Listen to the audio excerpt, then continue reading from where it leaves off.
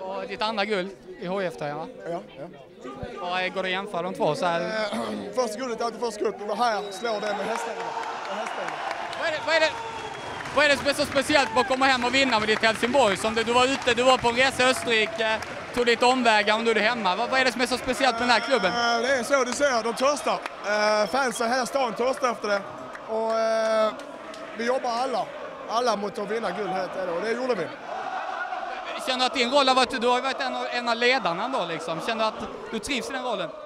Ja, jo, det trivs. Just nu trivs jag jättebra.